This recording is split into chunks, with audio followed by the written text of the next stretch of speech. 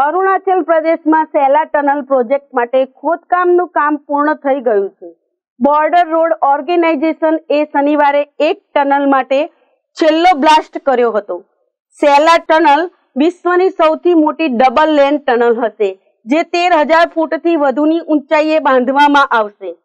સંરક્ષણ મંત્રાલયના જણાવ્યા અનુસાર, સેલા ટનલ પ્રોજેક્ટ હવે નિર્ણાયક તબક્કામાં પહોંચી ગયો છે. ચીન સીમાવાળા અરુણાચલ પ્રદેશમાં આ ટનલ ટૂંક સમયમાં જ સૈનિકો માટે તવાંગ સેક્ટરના આગળના વિસ્તારોમાં પહોંચવા માટે ગેમ ચેન્જર સાબિત થશે.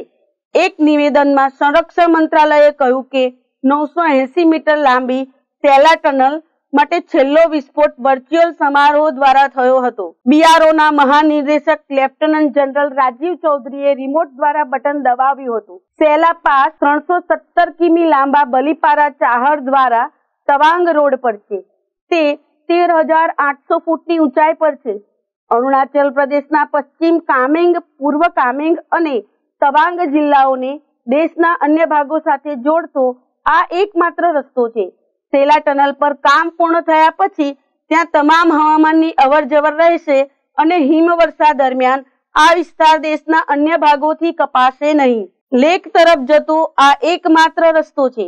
ખરાબ હવામાનમાં હેલિકોપ્ટર પણ ઉડી શકતા નથી અને જ્યારે આ રસ્તો તમામ હવામાનમાં ખુલ્લો રહેશે, ત્યારે સ્થાનિક લોકોને તેમજ ભારતીય સેનાને મોટી રાહત મળશે.